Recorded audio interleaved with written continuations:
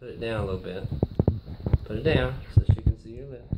Okay, um, what kind of jobs did you have? Okay. Later on in years, I was older, and I worked at Nachman's department store at Newport News, Virginia.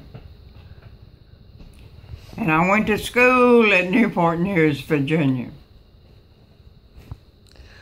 Um, what? Then, later on, I got married. And I had Howard Jr. Three years later, I had Peggy. Ten years later, when they were 10 years old, I had Debbie and Joanne. And that's about it. And then later in years, I married Berman. And I lived here. You got my whole life history. Okay, just one more question. What kind of clothes did you wear back then? Like when you were. Well, I wore shorts and I wore dresses.